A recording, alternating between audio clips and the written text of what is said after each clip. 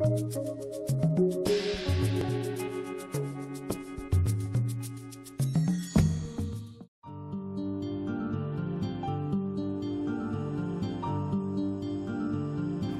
about edible and medicinal plants is a wonderful way for kids to get excited about being outside.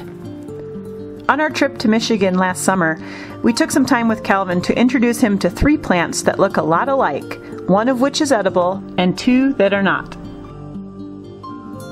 All right, Calvin, you see the leaf, right? Okay, see how broad it is, right? Little jagged areas, okay? It almost looks like if you were to put your hand out okay? And you can cover it like that, see? Okay, and it's on a vine. Now what's normally here? What's normally here at the end? Um, what daddy teach you how to eat it? What do we call that?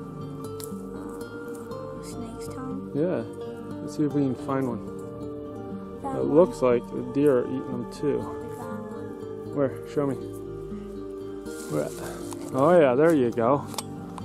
Let's get that one on there. And here. Okay. So you see how when the vine comes out, starting a new area, it splits out into two like a snake's tongue. Okay, try it out now. Okay, what's it taste like? Patch Kids. Okay, and do you remember what kind of vine that is? Snake's tongue. What kind of vine? Not what we call the edible part. Do you remember what kind of vine that is? Grape. Yes. Okay. So grape. So now there is a poisonous look-alike that grows right next to grape that I need to show you. So you ready? Come over here. Poison ivy. Yep. Come here.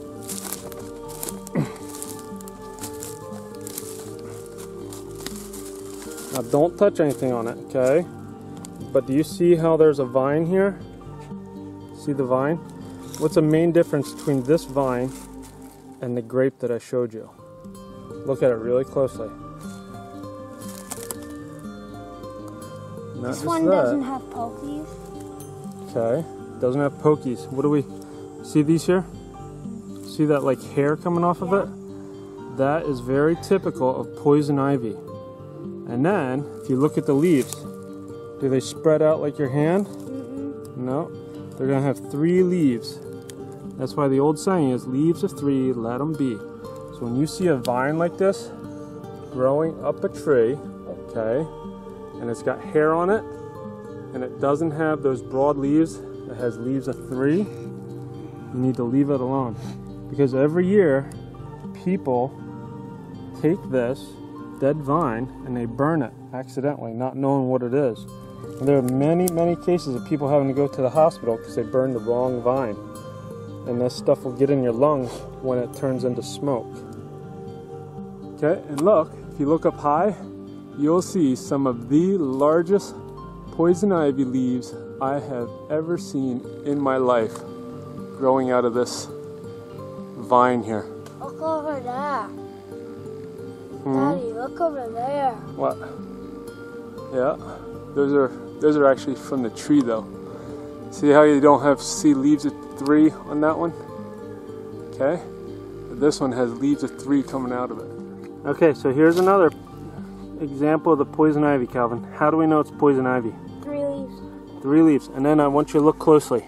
See these back leaves here? Mm-hmm. As they develop, they'll get this sort of thumb on the back of them, kind of like the mitten off of um, a mitten you would wear in the wintertime. They'll develop like a little thumb on them. Okay, Calvin, so here we have a grapevine, right? We know it's grape because it doesn't have the hair coming out, right? It's not sticking to the tree, it's loose. You look up and we saw the really broad leaves, right? Okay, so what is another thing you can do with grapevine? You remember? Water. How do you get water out of a grapevine? You chop it open. Okay. And then where's the water going to come out? The place where you chopped it. Yep, good. And it actually holds quite a bit of water. And if you chopped it here, all the water from the top will That's just correct. come out right there. Yep. And you can just drink it. And the reason grapevines transfer so much water is because it takes a lot of water to To create the grapes. Exactly. Good job, buddy. Okay, let's see what else we can find. Okay, Calvin. So what is the difference between this vine and grape? Gray hair.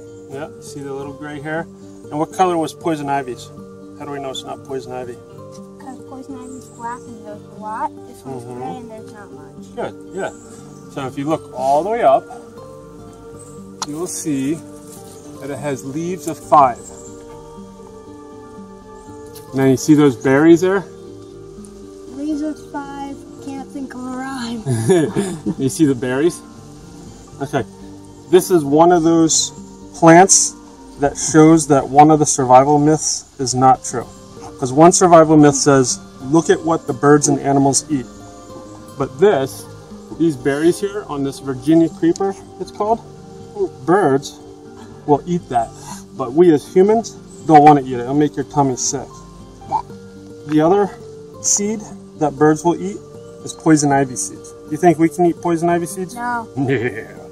No. So you don't want to you don't want to follow that myth. And this is one of the plants that shows us that. Now, what could you use this for in a survival situation? Fire. Rope. Fire, rope. Yeah, good. Yeah, if you got a really thin one, you could use it to maybe to put your uh, shelter together, right? Or if you got a really thick one, you can climb up the tree. And just build a thick. ba- and just build a base in the tree. Oh yeah, yeah. That's good thinking. Since we feel that the best way to master any subject is to teach it, we asked Calvin to turn around and teach us about these vines. Okay, Calvin, what's that in your hand? A grapevine. How do you know it's a grapevine? Uh, it's got bark instead of hair, and it's not clinging to a tree. Good, very good. Oh, What- and the leaves. What about the leaves? They're big and fat. Good. Very good. Now, what was it that you were telling Daddy you could do with the grapevine in Uh, survival? Get hydrated How? because there's water in it. There's water in it. So, what would you do to get the water out? Chop it open Ah, and why does it have so much water? because the grapes need a lot of water to sprout. Ah, okay. That's good to know, buddy. Thank you. It's extremely important for parents who take their kids outside a lot to really learn the differences between these plants. Knowing the difference between a grapevine and a Virginia creeper could mean the difference between an easy survival situation and one that you may not come out of. Once you become comfortable with plants yourself, don't just show your kids in a book. Take them out there and let them see and feel and sense the differences between these plants. Just be sure not to touch the poison ivy.